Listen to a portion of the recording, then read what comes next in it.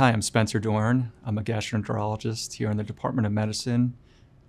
So I serve patients uh, suffering from a range of chronic abdominal and gastrointestinal symptoms, such as abdominal pain, chronic constipation, nausea, dyspepsia.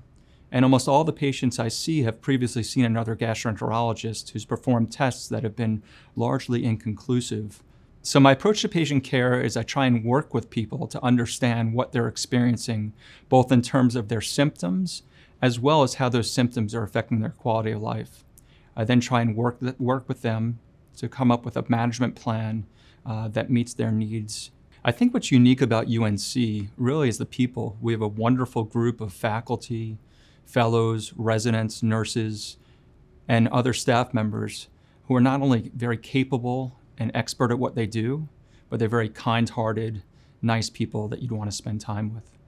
Academically, I'm really interested in how healthcare works and sometimes doesn't, and finding new ways to provide better care for our patients and also better ways of taking care of ourselves as clinicians.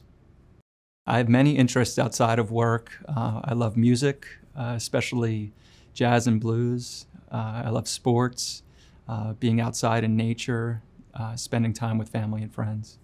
A fun fact about me is that I'm a twin, and so is my wife. I have an identical twin brother. My wife has a non identical twin sister, and no, they're not married to each other.